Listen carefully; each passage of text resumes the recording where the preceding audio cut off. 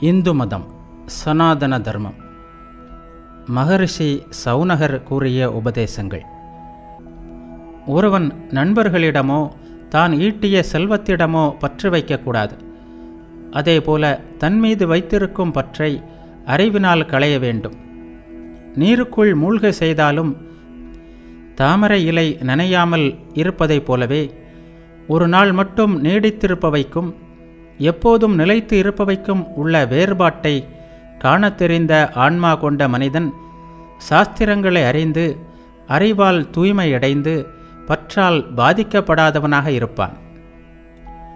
பற்றால் பீடிக்கப்பட்ட மனிதன் ஆசையால் சித்திரவதை செய்யப்படுகிறான். அப்படி உண்டாகும் ஆசை உலகப் பொருட்கள் மீது அவன் கொண்டிருக்கும் தாகத்தை அதிகரிக்க செய்கிறது.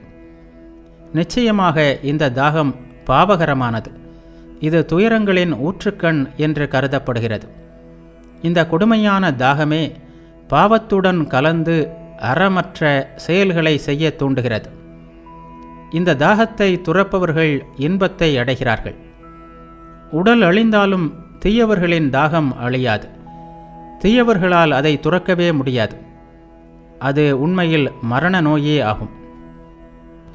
அதற்கு தொடக்கமும் முடிவும் கிடையாது.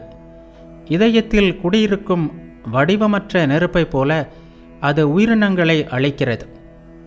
ஒரு விறகில் ஊற்றப்படும் நெருப்பினால் ஒரு விறகு கட்டே எரிவதைப் போல தூய்மையற்ற ஆன்மா கொண்ட மனிதன் தனது இதயத்தில் பிறந்த பேராசையினால் அழிவை சந்திக்கிறான்.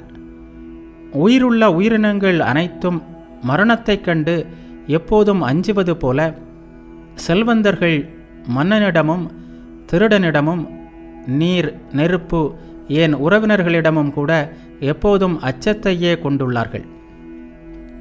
காற்றில் இருக்கும் இறைச்சி துண்டு பறவைகளால் விழுங்கப்படும்.